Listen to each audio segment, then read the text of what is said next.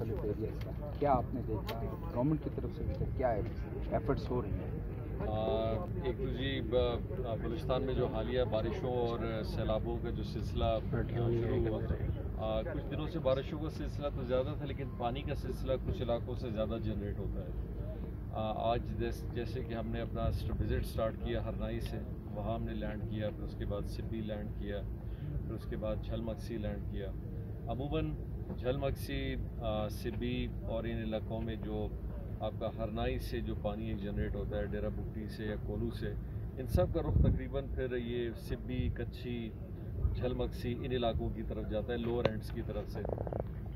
और फिर इसी तरह मूला रिवर है और जो आपके बोलान का पानी है उसका भी रुख तकरीबन इन सब का उसी पैटर्न की तरफ़ जाता है। एक असेसमेंट हमने ऑब्वियसली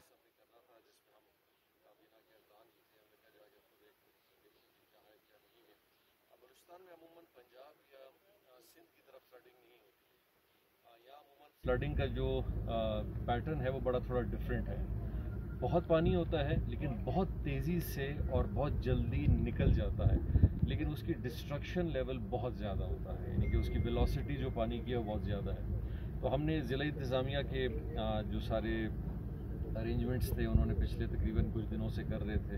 आ, उनका जायज़ा लिया जिसमें irrigation department C N W department commissionerates deputy commissioners और ख़ासकर पी डी एम है जो खासकर नेचुरल डिज़ास्टर को मैनेज करती है। इक्विपमेंट्स का सप्लाई करना रोडों को बहाल करना जो हमारे साथ था। इसी तरह जो इमरजेंसी की रिक्वायरमेंट है सारे हॉस्पिटल्स या डिस्ट्रिक्स के अंदर शेल्टर के हवाले से जो चीज़ों की ज़रूरत है। ये सारी चीज़ें हमने, अल्हम्दुलिल्लाह एक किसी बहुत अच्छे हद तक एडमिनिस्ट्रेशन को ऑन अलर्ट देखा। चाहे वो रेस्क्यू का हवाला हो चाहे वो फैसिलिटेट करने का हो, और अभी शेल्टर का हो। आने वाला टाइम जैसे जैसे ये पानी थोड़ा सा अभी सेटल डाउन होगा तो एक रिहैब का जो एक ओवरऑल असेसमेंट है जहाँ जहाँ डिस्ट्रक्शन हुई है ख़ासकर घरों, पक्के घरों, यानी कि जो पक्के घर, पक्के से मुराद जो फुली डैमेज घर हुए हैं या जो पार्शल डैमेजेस हुए हैं, बंदात का है इरिगेशन की स्कीमात का है रोड्स का खासकर है तो इन चीज़ों में थोड़ा बहुत जो एक नुकसान हुआ है, उसकी ओवरऑल असेसमेंट ये करेंगी सारी टीम्स एंड फाइनली फिर जो हमारा जो एक इमरजेंसी एक पैकेज साथ साथ चलता है, इन सब की रिहेबिलिटेशन है. उम्मीद है कि इन ताला कि अब मज़ीद बारिशों का सिलसिला तो है लेकिन साथ साथ हमारी जितनी भी मशीनरी है जितने भी इदारे हैं सब अलर्ट पे हैं। इन कल से हमारा जो एयरलिफ्ट का एक सप्लाई है वो भी काम स्टार्ट हो रहा है। रोड्स बहुत सारे बहाल किए गए हैं। इसमें एनएचए भी हमारे साथ हैं वो भी एक अपना काम कर रही है। प्रोविंशियल गवर्नमेंट के साथ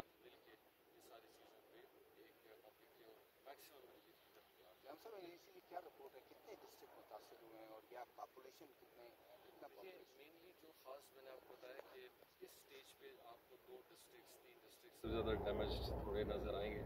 चलमक्सी का बलूचिस्तान में कच्छी का साथ साथ सिपी के पार्शल एरियाज़ हैं। हरनाई में अल्हम्दुलिल्लाह इस दफ़ा destruction in terms of houses वगैरह इनकी नहीं हुई है, लेकिन रिवर बेड्स के अंदर कुछ जो इरिगेशन की स्कीम्स हैं, उनको नुकसान ज़्यादा हुआ।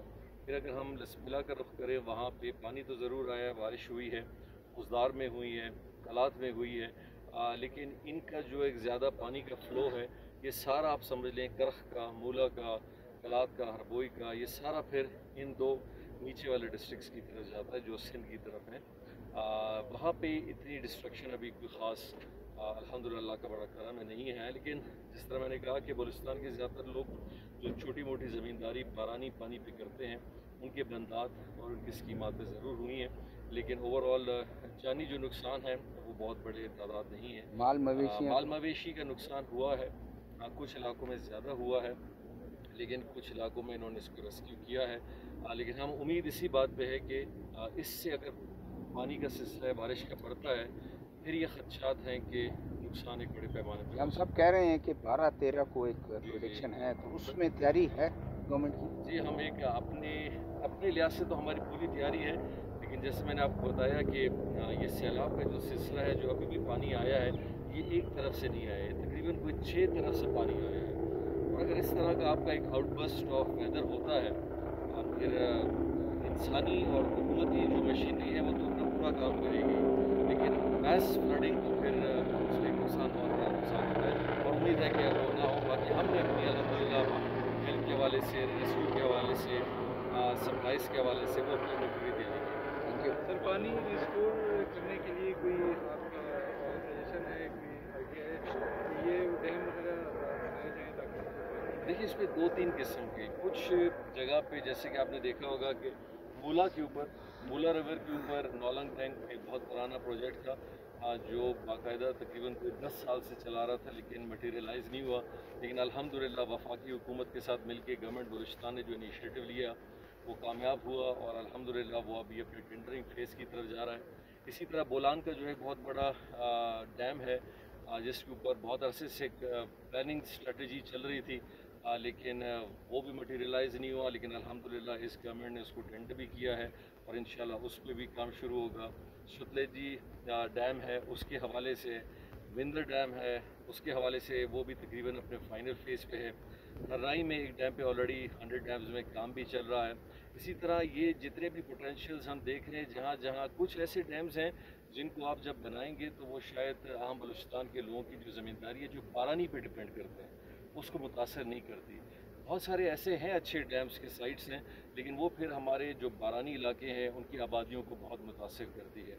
लेकिन हम कोशिश कर रहे हैं कि उन सबको बनाएँ जो कम अज़ कम एक इरीगेटेड स्कीम के थ्रू फिर बहुत बड़ी आबादी कर सकती है, जिसकी तफसील मैंने आपको थोड़ी बहुत बताई। Thank you